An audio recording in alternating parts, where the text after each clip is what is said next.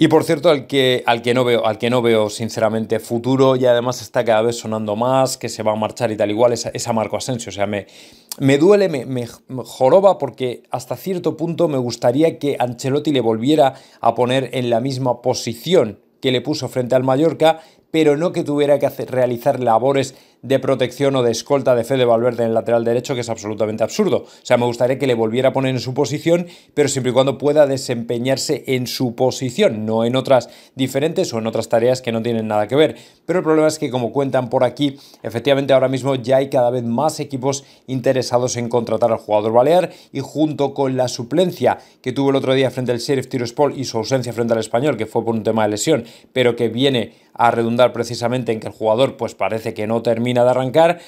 Milan, Juventus, Liverpool, Arsenal están esperando ahí con la caña precisamente para ver si Marco Asensio finalmente toma una decisión. El problema es que cuando volvamos del parón internacional será ya prácticamente noviembre y quedará apenas un mes y medio para el mercado de invierno, ¿vale? Y el otro día Eduardo Inda ya dijo que como no cambie la situación radicalmente y Marco Asensio empieza a ser titular, el jugador definitivamente va a buscar alternativas, va a buscar otra forma de hacer las cosas y seguramente se va a marchar a otro equipo. Yo lo entendería personalmente porque creo que un jugador al final tiene que jugar, pero me quedaría con la sensación de que el jugador pues no ha terminado explotando precisamente por haber estado jugando en una posición completamente distinta, pero que cuando ha tenido la oportunidad la ha aprovechado. Entonces vamos a ver si Ancelotti efectivamente hace un centro del campo sólido petrificado con los mismos jugadores, donde esté Marco Asensio y podemos ver cómo la situación se revierte. Pero cada vez más le salen más novias, más pretendientes y esto hay que tenerlo en cuenta porque muy probablemente el jugador, como vea que no le salen las cosas con Ancelotti,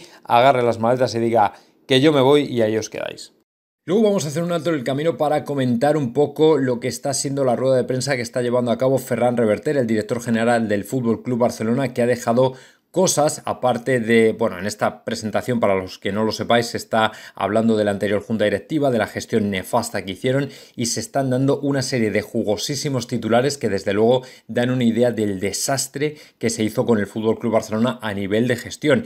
Por ejemplo, ha dicho que se estuvieron pagando comisiones del 33% cuando lo normal es pagar cosas pues del estilo de el 5, el 10%. Bueno, comisiones de hasta el 33%, que además la noche que se contrató a Griezmann no había fondos para pagar y aún así se metieron en todo ese percal, que además se tiraron a construir el Spy Barça y a fichar jugadores de manera alocada sin ningún tipo de planificación o proyecto. Es decir, que incluso si hay motivo para ello, van a intentar llevar a juicio a toda la anterior junta directiva por la mala diligencia o la mala gestión del club que casi da con el Fútbol Club Barcelona en la absoluta ruina. Luego, además, otra cosa interesante es, lógicamente, si el Fútbol Club Barcelona va a poder fichar jugadores el año que viene. Ya ha dicho que lo primero es hacer los deberes, pero que si todo se cumple, el Barça podrá traer a los jugadores que quiera. A mí esto, no sé, yo Hombre, no soy quien para ponerlo en duda porque tampoco conozco los números eh, desde dentro ni de primera mano del Barça, pero sí es cierto que me llama un poco la atención que un equipo que tiene un tope de límite salarial 99 millones pueda fichar a quien le dé la gana. O sea, yo creo que lo ha dejado un poco abierto, pero si os fijáis en la primera parte de la frase donde dice lo primero que se debe hacer en los deberes y si seguimos con ellos y si se cumple, entonces sí. Yo creo que al final luego dirán, bueno, ya, pero es que todavía tenemos que hacer los deberes, es decir, como que no se ha cumplido todavía y nos tenemos que dar más tiempo. Esto yo creo que lo dejan un poco ahí para que la gente tenga ilusiones y tal y cual, porque no pueden decir directamente que no, pero sí es cierto que a mí personalmente se me hace complicado pensar que en una sola temporada van a arreglar una nefasta gestión que lleva o que ha estado durante años. Creo que esto le va a tomar más tiempo al Barça de lo que ellos piensan. Y bueno, ya podéis sacar el cava, empezar a aplaudir y brindar porque Karim Benzema acaba de ser nombrado por Sky Sports como el mejor jugador del mundo, superando ni más ni menos que a Erling Haaland y a Kylian Mbappé con 22.880 votos. Además, es una estadística que se elabora a través de un algoritmo fijo, ¿vale? Con fórmula fija para clasificar a los jugadores. O sea, no es una opinión, no es una encuesta, no es a ver, puede tener un punto de subjetividad, pero no tanto como lógicamente una opinión, una encuesta o lo que sea. Y es que el algoritmo está basado puramente en la participación en el gol, es decir, goles y asistencias. Y Benzema lleva 16, es decir, 9 goles y 7 asistencias por delante de Erling Haaland que tiene eh, bueno, 6 por encima de Erling Haaland y 7 por encima de Mohamed Salah. Luego además en el ranking también se encuentran otros como eh, Messi, como Lewandowski, pero que han sucumbido precisamente ante lo, el buen hacer de, Karim Benzema,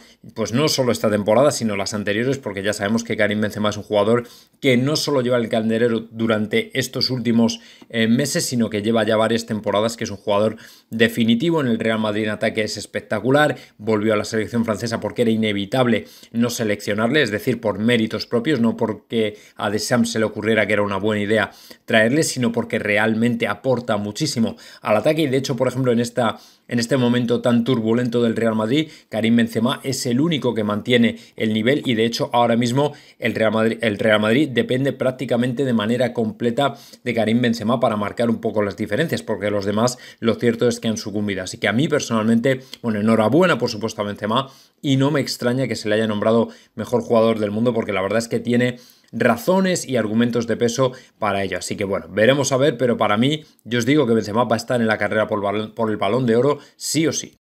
Y luego, lógicamente, tenemos un episodio de estos que se repiten durante las convocatorias internacionales, que por supuesto siempre perjudica al Real Madrid, que siempre perjudica al jugador, pero que nos tenemos que comer porque parece que aquí nadie quiere hacer nada y nadie quiere proteger ni defender nuestros intereses. Bueno, se trata de Eduardo Camavinga, que tiene un hematoma enorme en el pie izquierdo, como ha revelado su eh, seleccionador, Silvain Ripoll, quien ha comentado que efectivamente el jugador tiene ese problema y que de momento no va a estar con Francia, pero el problema es que tampoco le dejan volver a Madrid. Es decir, este tipo de cosas que tanto nos gustan porque entendemos que cuando el jugador tiene una lesión, sea la que sea, lo suyo es que se quede en Madrid, que se vea con los médicos del equipo, que esté con Ancelotti, eh, aunque no sea entrenando con el grupo, pero entrenando aparte y recuperándose, pero no, o sea, aquí es que esto es la hostia. Aquí ellos se quedan al jugador no lo utilizan, pero tampoco le dejan volver al, equipo, no le dejan recuperarse, no le dejan descanso, te lo, te lo, cansan, te lo revientan y al final te lo devuelven hecho un trapo y ahí te las apañes. O sea, es, es lo típico de siempre.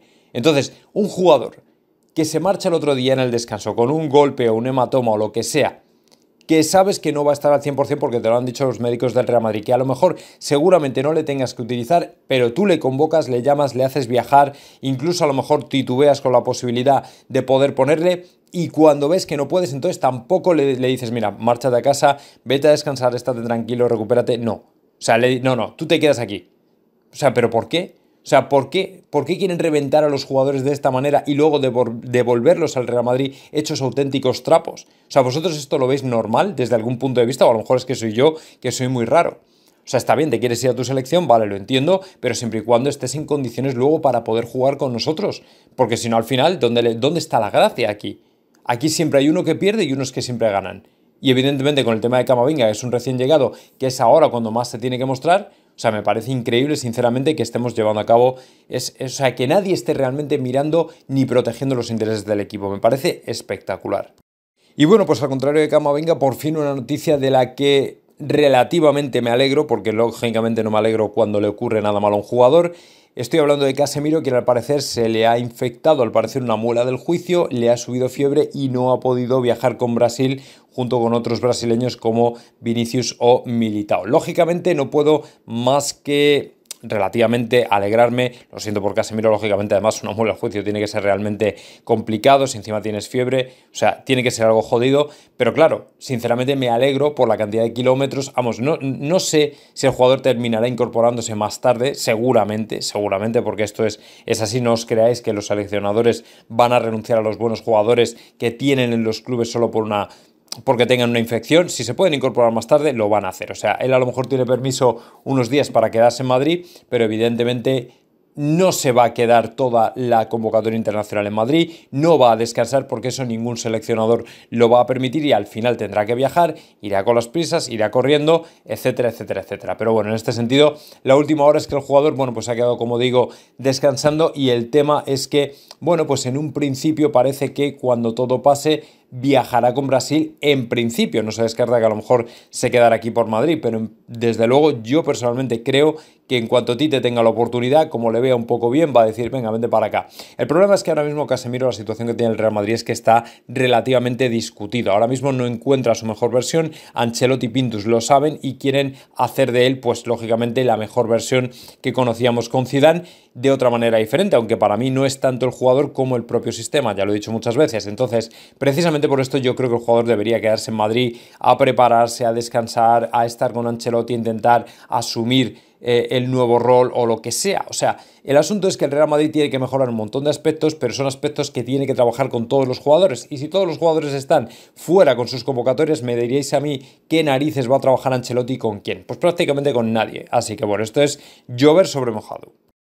Luego me voy a dirigir a una noticia que ha salido ni más ni menos que en el diario ABC y que es bastante, bastante importante en el sentido de que ABC siempre tiene muy buena mano, mano eh, cercana al Real Madrid y sabe más o menos lo que se cuece. El asunto es que están, dicen ciertamente, descontentos con tanto cambio, con tanta revolución, con, con tanta modificación en los once iniciales, especialmente con los últimos, en los últimos tres partidos en los que hemos visto pues diferentes esquemas, esquemas, jugadores, etcétera, etcétera, etcétera. Y evidentemente esto no ha gustado nada porque crea confusión, porque no da estabilidad, por todo este tipo de cosas.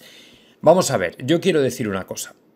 Si tú sabes más que el entrenador, entonces ¿por qué no estás en el banquillo? Y si este entrenador no te gusta, ¿por qué le has fichado? Es decir, no tiene ningún sentido. Efectivamente, en los tres últimos partidos hemos perdido dos, hemos empatado uno. Y Ancelotti ha estado ciertamente llevando a cabo experimentos que algunos de ellos son más que cuestionables, es cierto. Pero es que si este tipo de experimentos no los llevas ahora, a estas alturas de la temporada, ¿cuándo te vas a poner a experimentar? Más adelante, cuando ya te la estés jugando toda a una carta. Él tiene que saber ahora mismo con quién cuenta de verdad. Él tiene que saber los jugadores que le funcionan y el esquema que le funcionan, porque daos cuenta de que son muchos jugadores muy jóvenes, muchos jugadores nuevos realmente, no, no nuevos que hayan llegado esta temporada, pero sí nuevos a la hora de la importancia que les está dando Carlo Ancelotti, que a diferencia de Zidane les está dando la prioridad que el francés no les daba. Y evidentemente tienes que probarles en diferentes posiciones, situaciones, esquemas, formaciones, etcétera, etcétera. ¿Me entendéis? Entonces es lógico que Carlo Ancelotti tenga que llevar a cabo determinados experimentos aunque no nos guste. Y sobre todo porque encima son partidos que se te han puesto eh, cuesta arriba desde el principio porque te han marcado pronto, has tenido que remontar. O sea, no puede ser que estemos ya cuestionando a estas alturas la labor del entrenador. O sea, puedes criticar determinados puntos, hombre, yo hubiera hecho esto de otra manera, tal y cual, pero tanto como cuestionar y darle un toque, me parece que ese no es el camino. Y bueno, pues sabéis que en esa entrevista donde Mbappé ha hablado completamente sin filtros y ha repartido también bastantes palitos, no solo se dejó al PSG, no solo no se dejó al Real Madrid, sino que tampoco se dejó a sus nuevos compañeros de Triente, Leo Messi y Neymar. Y es que comentaba Mbappé que a partir de ahora los tres tienen que repartirse el pastel. Y lo decía de manera literal. Cuando juegas arriba con gente como esa, decía Mbappé, hay que repartir el pastel y los tres tenemos que comer. No puedes decir a este se la paso y a este no. Hay que ser inteligente. Siempre va momentos de frustración. Y esto lógicamente va en la línea de el otro día cuando le pillaron en las cámaras diciendo que por qué no se le ha pasado, porque le ha dado un pase tan malo eh, Neymar. Y bueno, pues en este sentido es una advertencia muy clarita a sus dos compañeros que ahora mismo brillan por sí solos. Precisamente por la notoriedad que tienen y precisamente por ser de alguna manera el núcleo que al parecer está pues irritando bastante a Kylian Mbappé en el sentido de que ahora pues no es que se hayan puesto a dominar el vestuario, pero sí que hay una especie de de confraternidad que al jugador francés no le gusta porque se siente un tanto apartado y es una advertencia clarísima. O sea, es que Mbappé en esta entrevista, digamos que no hace prisioneros, no hace... Eh, o sea, deja todo bien claro y reparte esto para todo el mundo para que todo el mundo sepa lo que piensa. O sea, es como que se ha liberado completamente y le da absolutamente igual lo que pase le da absolutamente igual compañeros de equipo, le da absolutamente igual París Saint Germain, le da absolutamente igual Real Madrid, habla sin filtros y evidentemente esta advertencia creo que queda clara que es para Messi y para animar. A partir de ahora o nos repartimos el pastel, o sea, o jugamos todos o pinchamos el balón. Esto es básicamente así. Así que que nadie se ponga de estrellita porque lógicamente va a ser un problema. Pero claro, es que tantos gallos en el mismo corral es un problema porque si al final él quiere aspirar al balón de oro, cosas así, va a ser bien complicado poder lucir justo teniendo al lado a Leo Messi o Neymar. ¿Qué tal amigos? Bueno, vamos con la que le puede caer a Mbappé cuando vuelva a París porque es bien gorda. Vamos a por ello. Bueno, pues sí, efectivamente no había que ser científico de la NASA para imaginarse lo que podría traer precisamente las palabras de Kylian Mbappé. Antes de meterme en materia, eso sí, ya sabéis, las camisetas del equipo las tenéis en la tienda, en nuestra de tienda jmadrid.com, tenéis abajo, abajo el enlace en la descripción, ya sabéis que tenéis que utilizar mi código de descuento para haceros con una de ellas, no olvidéis que es importante, así que ya sabéis, si quieres la camiseta del equipo, a jmadrid.com. Bueno, ¿qué le va a ocurrir a Mbappé cuando vuelva a París? Pues nada, básicamente que se va a encontrar un ambiente como 300 veces más hostil que el que dejó el otro día, porque se van filtrando ya las reacciones por parte de diferentes estamentos del club, por parte de la propia afición, y no están nada contentos. A partir de ahora y hasta el día en el que se vaya el Real Madrid, París va a ser un auténtico infierno literal para Kylian Mbappé. Va a ser el foco de críticas. Si pensaba que la directiva estaba organizando todo el tema de las pitadas, los silbidos contra él, el ponerle a la afición en contra, ahora va a saber lo que es bueno porque efectivamente todo el mundo está muy cabreado con Kylian Mbappé, especialmente dentro de la directiva donde no comprenden cómo la cosa se había ido relajando entre la afición y él precisamente porque el tema se iba olvidando a medida que nos alejamos del verano y él lo ha resucitado de la noche a la mañana y encima no con una, sino con dos entrevistas que lógicamente no han gustado nada ni a directiva ni a afición y parece, comentan, dicen que se prevé un ambiente extremadamente hostil contra el jugador. Ahora se convierte de hecho en el enemigo público número uno de París y ya no hay ningún cariño desde luego por el jugador si es que quedaba algo después de todo lo que había pasado en verano. Y además es que no vale de nada que haya elogiado al Paris Saint Germain, que haya dicho que es feliz, no le vale de absolutamente nada porque le van a dar igual por todos los lados. Así que bueno, que se vaya preparando porque lo que se le viene encima es bien gordo.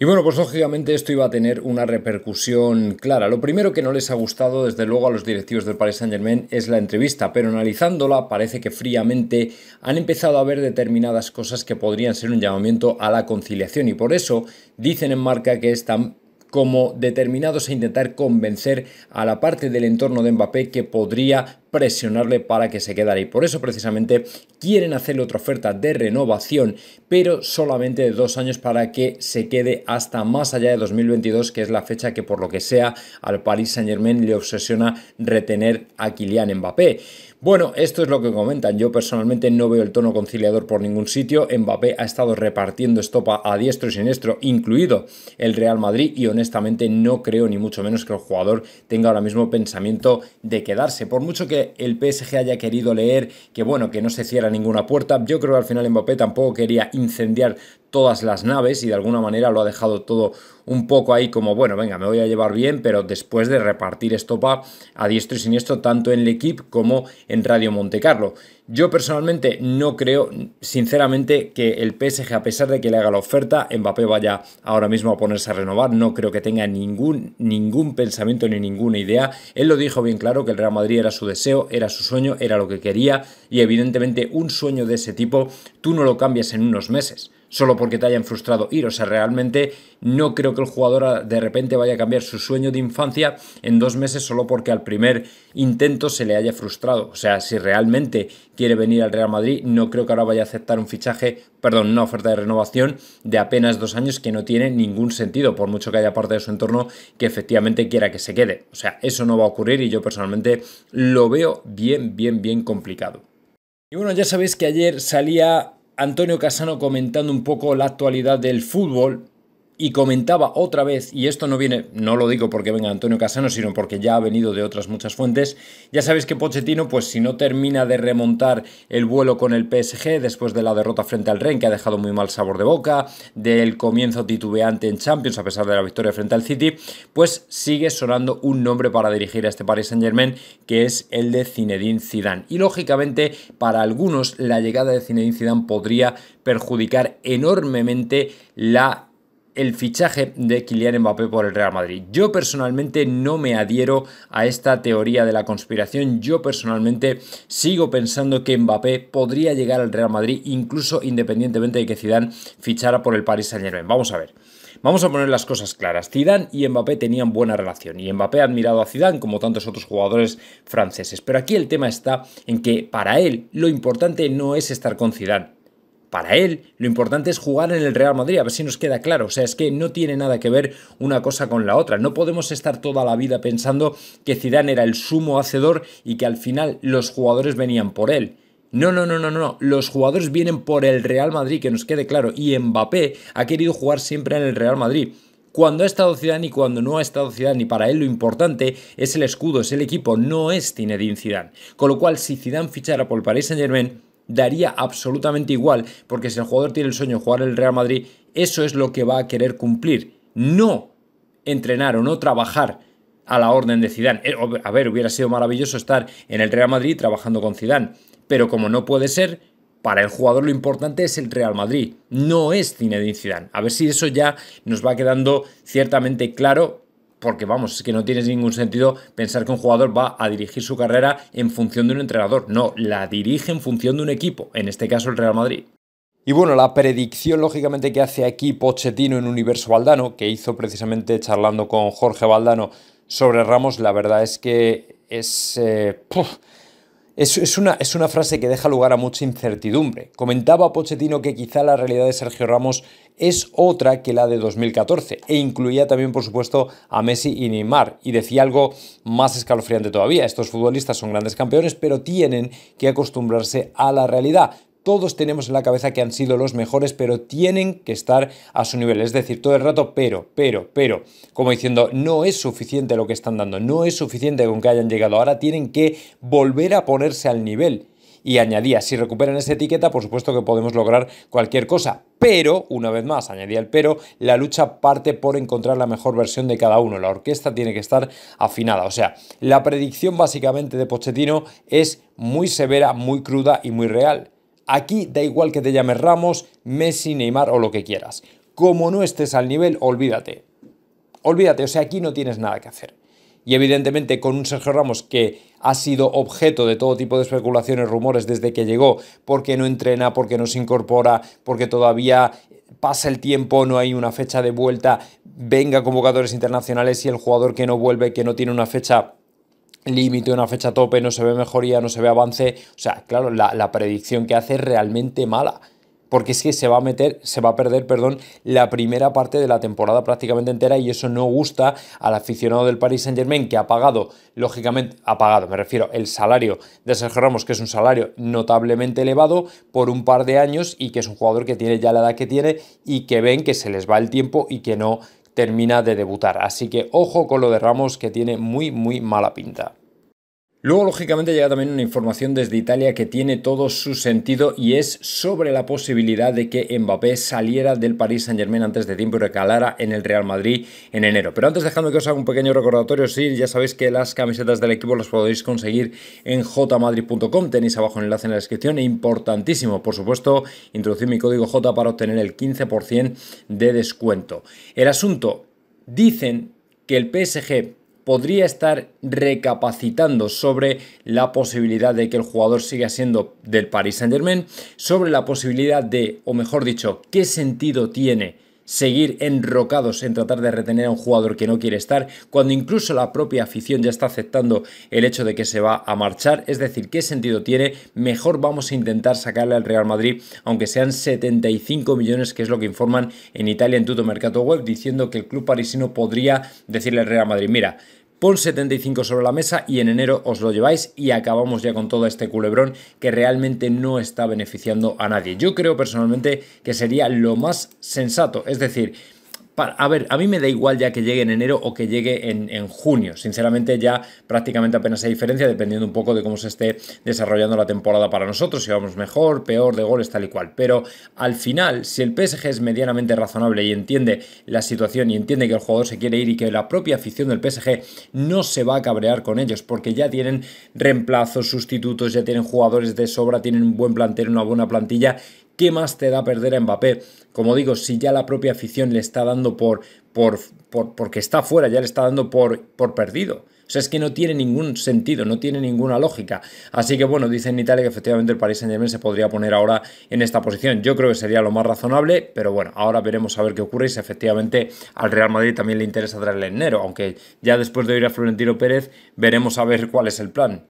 Luego otra de las voces autorizadas que efectivamente hemos estado esperando con muchas ganas que se pronunciara acerca del tema ha sido Fabrizio Romano, quien efectivamente ayer me parece que en la noche subía un vídeo a YouTube acerca de Kylian Mbappé, de su situación, de por qué, de las entrevistas, qué ha ocurrido, por qué lo ha dicho ahora, por qué ha tenido que hablar. Y bueno, Fabricio Romano ha dejado claro una cosa que es una verdad como un templo y que lo ha soltado como una bomba no, no una bomba de exclusiva, sino que algo que no va a sentar bien, evidentemente, pero que es la puñetera verdad. O sea, Fabrizio Romano comentaba que si Mbappé todavía estaba convencido de querer renovar con el Paris Saint Germain, algo que algunos han apuntado que ha dejado o ha insinuado en la entrevista, evidentemente no habría dado semejantes entrevistas o por lo menos el tono habría sido completamente diferente, o sea, no habría revelado nada de verdad, sobre todo no habría resucitado el tema, que, que era un tema prácticamente que estaba muerto, era un tema que estaba ya prácticamente pasando no al olvido, pero sí de alguna manera a un segundo plano y de repente lo ha resucitado de la noche a la mañana y ni más ni menos que en una en un parón de selecciones que es cuando menos la gente tiene que hablar de fútbol, pues ahora ya tenemos todo el tema del mundo para hablar de todo lo que queramos y largo y tendido. Y evidentemente si Mbappé efectivamente quisiera quedarse en, en París, lo que querría es que las aguas se volvieran a calmar, que todo bajara otra vez por su cauce tranquilamente y no habría hablado de este tema ni mucho menos. Sin embargo, él ha abierto la caja de Pandora precisamente porque le interesa abrirla precisamente ahora, porque no le ha gustado, no le gustó lo que ocurrió en verano y por algún motivo que seguramente no sabemos. Él dice que porque tenía que hablar, lo ha hecho. Y Fabricio Romano lo ha dejado claro y se lo ha dado a entender al Paris Saint Germain. Un jugador tuyo que quiere quedarse en el equipo, evidentemente no saca este tipo de entrevistas, no se pone a hablar de esta manera, ¿entendéis? Así que bueno, pues a partir de ahora veremos a ver qué ocurre, pero en el Paris Saint Germain, desde luego, Mbappé no va a seguir. Bueno, y este vídeo es muy curioso, es muy gracioso, la verdad, porque comentan que el, propio Fabricio Romano enfría el posible fichaje de Rudiger por el, Real Madrid. Decía el periodista que no hay conversaciones avanzadas con Rudiger, que solo hay interés si se convierte en agente libre y eso no es seguro. Bueno, déjame que os diga una cosa. Yo vi el, el vídeo de Fabricio Romano. Eh, a ver, tampoco Fabricio Romano habla en inglés, pero tampoco es un inglés que no sea entendible por prácticamente media humanidad. O sea, es, es un inglés pues muy básico y lógicamente se entiende lo que dijo perfectamente. Y lo que dijo fue básicamente que en el Chelsea están intentando renovarle pero que en el caso de que no fructificaran esas conversaciones, hay dos equipos, uno Bayern de Múnich y otro Real Madrid, que están ahí precisamente para, si las conversaciones fracasan, ficharle. Y el Real Madrid además parece que está incluso dispuesto a ponerle un sueldo de 12 kilos que a lo mejor en el Bayern de Múnich no le ponen. Con lo cual el Real Madrid sí que tiene una prioridad a la hora de fichar a Rudiger y en mi opinión sí que tiene posibilidades si las conversaciones con el Chelsea no fructifican, que, como recalcaba Fabricio Hermano, no tienen acuerdo todavía. O sea, decir ahora mismo que eh, se enfría el fichaje, o sea, el fichaje no se enfría porque de momento el jugador está en conversaciones con su club, lo cual es entendible, pero también es una realidad que no ha llegado a un acuerdo con su club. O sea, todavía no tiene nada. Nada de nada. Y evidentemente llevan ya bastante tiempo negociando, con lo cual hay motivos para pensar que probablemente no lleguen a un acuerdo. Y eso significa que el Real Madrid va a estar ahí para ponerle un buen sueldo, una prima de fichaje y ofrecerle venir al Real Madrid. Así que, hombre, no digo que esté más caliente todavía, pero que se enfría, pues para nada. O sea, no es, no es la interpretación que yo hago en este sentido. O sea, para mí Rudiger todavía es una opción, siempre y cuando, como digo, eh, no siga hablando o no llegue a un acuerdo con el Chelsea, el Real Madrid estará ahí. No quiere decir que lo tengamos hecho, ni mucho menos, pero no quiere decir que se enfríe tampoco. Y esto lo dijo el propio Fabricio Romano y lo vi yo mismo en el vídeo que subió el otro día. Y bueno, otra de las eh, voces, opiniones autorizadas precisamente fueron todas las que se dieron reunión ayer en el larguero analizando la situación del tema de Mbappé y Antomeana concretamente apuntaba algo que es realmente cierto y es realmente importante que lo tengamos en cuenta. Daos cuenta o pensad valga la redundancia, que si todavía solamente el Real Madrid aparece como única opción del jugador, porque además de todas las noticias que nos llegaron en mayo-junio de que equipos de la Premier le habían contactado, pero les dijeron que ya estaba hecho para el Real Madrid, efectivamente esto es un punto a nuestro favor. Evidentemente los clubes que han sido consultados, decían Tomeana, por la cadena SER, dicen que no hay más, Madrid o PSG y que un jugador tan grande debería tener más clubes tocando la puerta, pero él ha elegido al Real Madrid. Es decir, el motivo por el que nadie más se mete con el tema de Mbappé en el sentido de intentar eh, ficharle, intentar hacer una oferta, es porque saben que está para el Real Madrid. O sea, es que nadie lo duda, todo el mundo lo sabe ya en Europa. Prácticamente nadie ahora mismo pierde ni un minuto de su tiempo en intentar revertir una situación que es irreversible. Es decir, que Mbappé juega en el Real Madrid.